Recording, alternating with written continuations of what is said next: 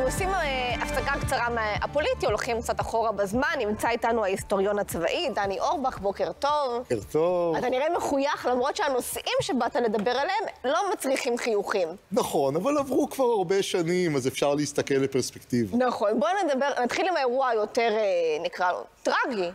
אירוע יותר טרגי, אה, ההפצצה על נגסקי, הפצצת כן. האטום על נגסקי. ב- אנחנו נמצאים בסוף מלחמת העולם השנייה, גרמניה כבר נכנעה. למעשה יפן היא המדינה הפשיסטית האחרונה שנשארת עומדת מול בעלות הברית. הוטלה פצצת אטום ראשונה תגדיר. מה זה נשארת עומדת. לא נכנעה ללא תנאי. בעלות הברית דורשות לא סתם כניעה, אלא כניעה ללא כל תנאי.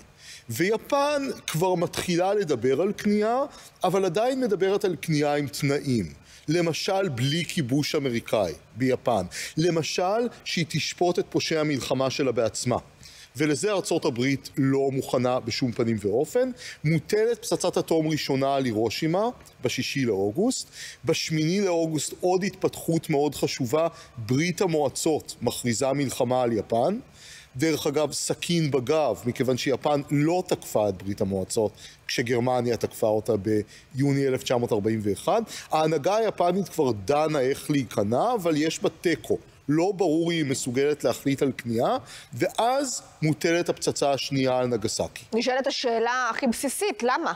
אתה מתאר מצב שהיא כבר בדרך לכניעה, אני מניחה שהאמריקאים קראו את זה, למה? לא ברור לאמריקאים עדיין שיפן תיכנע. זה הדבר הראשון. יש אה, תיקו בהנהגה. הצבא ביפן, שהוא הגורם הכי קיצוני, הוא כזה שיכול להטיל וטו למעשה על כל החלטה של הממשלה, אז לא ברור לאמריקאים שיפן תיכנע, מה גם שהיום אנחנו יודעים שיפן השקיעה המון כספים בהגנה של החופים, כלומר היא התכוננה גם להילחם. חשש שני של האמריקאים, הסובייטים כבר הכריזו מלחמה, שהם פשוט יתחילו להתקדם לתוך יפן, ויפן תהפוך להיות קומוניסטית. אני תוהה לעצמי אם היפנים בכלל תיארו לעצמם, אם היה להם סצנריו שהם יותקפו על ידי פצצת אטום. אף אחד לא ידע על קיום הפצצה הזאת ביפן. מי שדרך אגב ידע יפה מאוד זה סטלין, כי היו לו מרגלים בתוך הפרויקט. היפנים לא ידעו. האמת היא שגם בהתחלה הם לא הבינו בדיוק את ההבדל בינה לבין פצצה רגילה. בהפצצות התבערה בטוקיו מתו יותר אנשים מאשר בפצצות האטום, אבל באיזשהו שלב אה, הייתה, חלחלה ההבנה שזה פצצה מסוג חדש, ופה הנקודה הכי חשובה. פצצת האטום, שתי פצצות האטום, נתנו לצבא תירוץ להיכנע. מכיוון שאם הצבא היה נכנע רק בגלל פצצות התבערה, אז היו שואלים בעם למה לא נכנעתם חצי שנה קודם. למה כל ההרס הזה שירד עלינו? עכשיו הצבא יכול לומר, הנה, יש נשק חדש שלא הכרנו, והנה זה דרך להיכנע אבל בכבוד. אין משהו באמצע בין פצצות תבערה לא לפצצת אטום? לא פצצות. תבערה הן יותר גרועות. פצצות התבערה הרגו באופן כללי יותר אנשים, אבל פצצת האטום הייתה יותר חדשה. אז ולכן, למה זה נתפס אצלנו כמשהו יותר דרמטי ויותר גרוע? בין היתר כי האמריקאים גם דאגו להטיל את פצצת האטום, וזה היה בכוונה, על ערים שלא הופצצו הרבה עד עכשיו. כדי שהאפקט יהיה מאוד גדול. אם היו מטילים אותה על טוקיו, אני לא חושב שזה היה מעורר את אותו האפקט. באמת? מכיוון שטוקיו ממילא נשרפה והופצצה בפצצות תבערה. למרות שזו עיר יותר מוכרת, יותר ידועה, הכל? הפסיכולוגיה האנושית היא דבר מוזר. אם אנחנו הורסים עיר שלא נפגעה עד עכשיו, אז יש לזה אפקט פסיכולוגי אדיר. עכשיו תגיד שנייה, בוא נדבר במספרים. כמה מתים יש מפצצות האטום לעומת פצצות התבערה האלה, למשל? הפצצת התבערה על טוקיו ב-9 במרץ 1945, זה נקרא מבצע בית פגישות, או איך שקוראים לזה היפנים, ליל השלג השחור, בגלל השלג שירד אחר כך. 75 אלף עד 250 אלף נספים, כנראה שזה משהו אה, באמצע.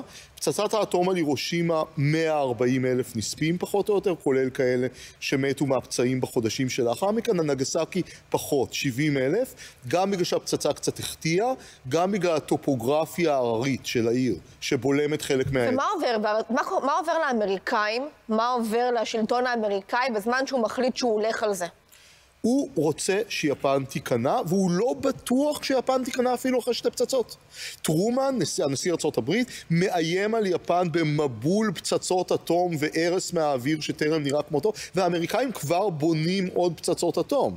זאת אומרת, יש... הייתה עוד פצצה באו- אה, באוויר? לא באוויר, אבל בעיר, באי מורכבת עוד פצצה שלישית, אה, מתוך כוונה להשתמש בה בתוך כמה חודשים, אם היפנים לא ייכנעו. כן, אמנון, אני רואה שאתה באמת תדבר. א', דנים... זה נושאים שאתה אוהב. תמיד מת להשתתף.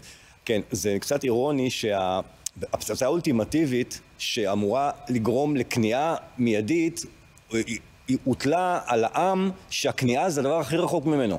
צריך להבין את המשמעות של כניעה בעיני היפנים. כלומר, בתרבות היפנית, המושג הזה של כניעה הוא פחות או יותר, הוא, הוא, הוא השיא, אין, אין יותר חמור מזה. כי מה, כי זה משפיל? כי זאת ההשפלה זה, כי הנוראית? זה? האתוס היפני, אני לא, אני לא מומחה ליפנים, אבל עובדה, הנושא של, של חרקירי וספוקו, וכל ההתאבדות והכבוד והכניעה למרות של הקיסר, הכניעה אצל היפנים זה דבר שהוא לא קיים, כלומר, אה, אני לא חושב שהיו... במלחמת העולם השנייה בטוח לא היו לוחמים שהם היו כל כך מוכנים למסור את נפשם ולא להיכנע כמו היפנים. צריך להבין את הדבר הזה. ניתן סטטיסטיקות. חיילים סובייטים, פחות או יותר שמונה נכנעים על כל הרוג בתחילת המלחמה. בדרך כלל הממוצע הוא ארבעה נכנעים על כל הרוג ברוב הצבאות. יפנים 99 הרוגים על כל נכנע. לא, לא נכנע, פשוט לא נכנעו, החבר'ה לא נכנעו, וצריך באמת שתי פצצות אטום כדי להכניע אותם ברמה של הרס אולטימטיבי. ומה קורה אחרי שתי הפצצות האלה ביפן? המועצה העליונה מתכנסת, יש ויכוח עדיין, אה, יש אה, את הצד הניצי שמדבר על כניעה עם תנאים, היונים כבר מבינים שצריך להיכנע ללא תנאי, בסופו של דבר הקיסר מכריע על כניעה. ומה שאני חושב כן יפה ביפן ברגע הזה, שכל הממשלה מתפטרת באותו הרגע, גם היונים וגם הניצים, כי יש הבנה של לא משנה מה ההכרעה ומה הקיסר הכריע, כולנו נכשלנו. והקיסר ממנה ממשלה חדשה. ואיך זוכרים היום ביפן את האירוע הזה? האירוע הזה נתפס ביפן היום באופן מאוד מאוד מוזר, לא כאשמתם של האמריקאים. וזה בגלל שהכיבוש האמריקאי ביפן זכור מאוד מאוד לטובה, כי האמריקאים שיקמו את יפן.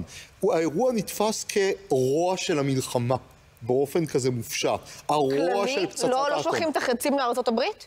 לא, וזה דבר מאוד מאוד, כלומר, יש אנשים שכן, אבל בגדול לא. דבר מאוד מאוד מעניין בזיכרון היפני, מדברים על הרוע של האטום, על הרוע של המלחמה, כאילו עושים איזו הפשטה מהאג'נסי האמריקאי של מי שזרקו את אגב, היא הפצצה. השתקמה מאוד מהר יפן, יחסית, נכון? זה גם גרמניה, וזה מאוד מאוד אופייני למדינות שיש להם את יכולת הייצור ויש להם את הידע ויש להם את הטכנולוגיה, אז הם נחרבו, אבל הרבה יותר קל לשקם את החורבן הזה. גם בעיקר כשהאמריקאים מנהלים את ה- את כן, השיקום הזה. ומסייעים בשני המקרים.